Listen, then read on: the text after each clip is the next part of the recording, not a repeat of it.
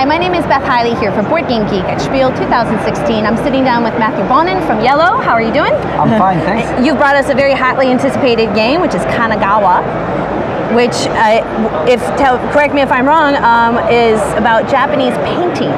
Yes, Japanese painting. It's a game uh, from Bruno Cathala and Charles Chevalier. Two big names in the industry. Yes, and uh, it's actually the first game uh, from the artist Jade Mosch. Uh, she um, she used to do personal projects, but never board games. So uh, we were happy to find her. We find her on the internet, and it, uh, uh, her art style was exactly what we were looking for. So we are we're so so glad to have her on the on the game.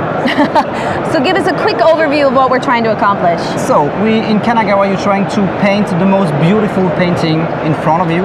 Um, and uh, to do so, you're going to have to learn new skills and uh, to uh, take cards from the, the school board here. So it's a small bamboo. I was going to say, if people can't see this on camera, that this is not a cardboard No. thing. This is actually made out of bamboo. and so you just roll it up and uh, to, to uh, put it in a box. Uh, and so at the beginning of the game, you're going to uh, put cards, as many cards as players, on the first row. You know, the cards So we'll say two players since it's you and me. Okay. So two, like this. Okay. Uh, if we were three, uh, I would put the the card on the red space face down. Okay. So the, the all the cards on the red space spaces go face down. Okay. Uh, but on the back you have an, an hint of, of what can be on, on the card. Uh, and then so we're going to choose either to pick one card or to wait to get more cards. So if there's a card that really is interesting for you now, you may want to take it. Uh, going by by uh, game order, of course, it's not a, a quickness game. Uh, uh, or you may uh, so you may want to take it if you're afraid that I'm gonna take it at my uh, on my turn. Or but you may want to wait a little longer to get more cards because when we both decided uh, if we uh, take a card or not, we're gonna add more on the columns that were not taken by any players. Okay, so in that case, we go like this. Face down since it's on a red square. So if you were the first player, I think I would like to, to take cards now because uh, if I don't, I know that I won't have the choice uh, next turn because you'll be first to choose. Right. Uh, even if there's three cards like this, you will you will be the first to choose.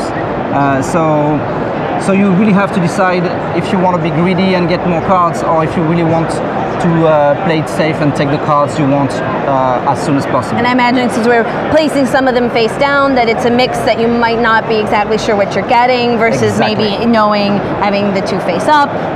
Exactly. Uh, so when you take cards, and actually I, I prepared my example for three players, so but that's okay.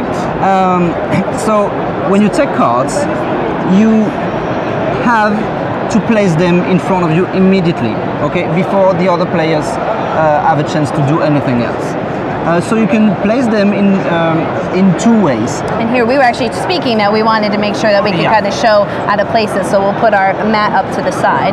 So uh, two ways to play the cards. You can either uh, place them in your painting, you know, to, to continue painting.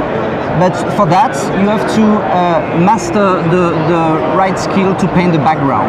The background is the little uh, colored dot here, and it's also the the background of the of the illustration. Okay, and so to to be able to paint this, uh, you must have the right the same symbol here in your workshop. This is your workshop, okay?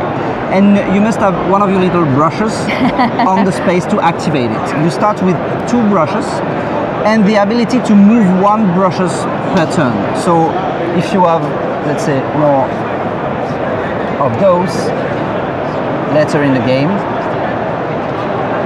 and you both have on the on the green dots, you could move one to paint something blue. And it looks as though different players are going to start with a different Yes, di- option. different option and different season here, and I'll explain uh, the, the, the importance later. Uh, so let me find a, a blue one. Sorry about that. That's okay. Oh, here. So if the cards I picked were actually those, I would have the choice between placing this one in my painting by activating this one, and then I couldn't uh, paint the other ones because I don't have any. Oh, I could do that actually. Right. That's and then I, I paint this one, for example. Or I could decide to do the other way and put this one in the workshop and this one Since this one takes two. two and then here I go okay so just an example that you can place your, your, your cards in the order you want and move your brushes uh, with the, the arrow ability and, and paint wha- whatever you, you need over there And so all that decision making is happening before the next person Yes, gets to take their the, cards. the ord- order is really important in, in the game. Play order, of course, because you want to to be able to pick the cards before the other players, and you want. But if you pick them before them, you will play before them, and that could be good or bad. It could be good for uh, taking new diplomas. The diplomas are requirements uh, that uh, if you meet, you get you get reward for. Okay. So, for example, on the cards, I told you there were a background. There's also a subject. Here you have two animals. Ah. Uh, here you, you can have also characters, like there's a geisha, a samurai. Uh, there's buildings, and there's let me find a tree. I'm, I'm positive that that tree's here. It's always going to be the last one you look for. So, uh, so whenever you, you place a card, um, you look if uh, you meet requirements, and you can take the diploma, the, the matching diploma uh, right now. If you don't want to take it, you won't be able to take it uh, anymore later. And let me see if I can take a guess at how easy the symbols are to learn. I'm guessing it would be first person to have two different buildings. Of course, that's it. But you only allowed to have one of each color, one diploma of each color. So if you take this one and later on you build, you paint another building, you won't be able to take this one. Okay. So there might be a reason to choose not to do it early. Yes. And, and of course, if you choose not to uh, to draw to uh, take this one when you uh, draw three different building, but someone take this one before you can, well, you, you won't be able to take a, a yellow diploma in this game.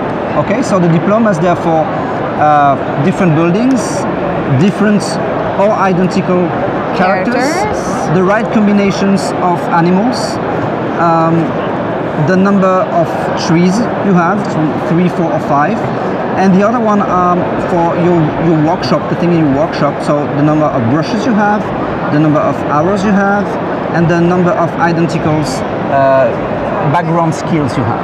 Okay, background you, you, you master. So the game ends uh, whenever someone uh, placed 11 cards in his painting. Then uh, we score points. So you get one point per, for each uh, card you have in your painting. The longer, the better. Okay. Uh, then you score uh, points for the those little symbols. Right. You know, they can be on the painting or in your your workshop. They're bonuses. Uh, you going to score one point per card in your longest season. So you see there's Ah. a. oh, I've got a, a good streak. Let me show you something here.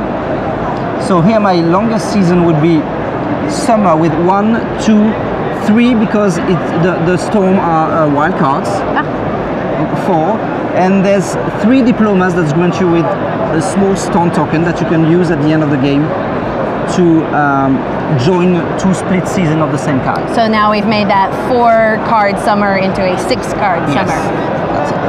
Um, and of course, the points from the diplomas. And You- I'm guessing most points wins. Yes, exactly. And there's just one thing is the first player because I, I really like this mechanism. There are two first player tokens. The big one is for the current first player, and the small one is for the future first player. Whenever you play uh, this symbol, you take this from whoever has it, and whoever has it at the end of the round gets the big one. So the later you play, the more chance you have to to uh, to become the next player because you can steal the, the this little guy from the guy who, who had it before. Fantastic. Well, Matthew, I'm really excited that we also uh, get to try this one out myself in our house. But uh, if you guys want to check this out, this is Kanagawa, which is published by IELLO Games. And thank you for letting us take a look. You're welcome.